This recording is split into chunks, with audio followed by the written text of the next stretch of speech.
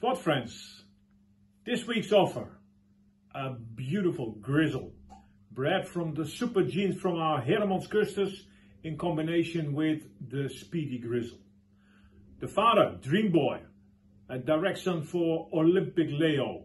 And Dream Boy is proven breeder as he's the father for Kalinda, a very promising yearling already in our loft, who won the first Nich in this year against over 10,000 pigeons who won three times in the top 10 in the Regio and many more good prizes already.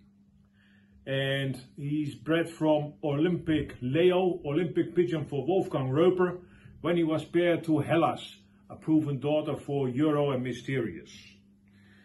And the mother for this beautiful grizzle is Blossom. And Blossom is bred from Bor with Speedy Grizzle. Speedy Grizzle, the sensation in our loft 2019, in which she became first national ace pigeon on the speed Natour races. Only entered four times, for which she won three times 1 to 1000. A super hen and super genes.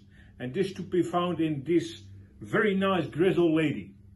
And she is medium size, short, very silky.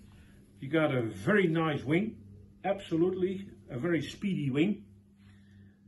A beautiful eye sign already, which you can see.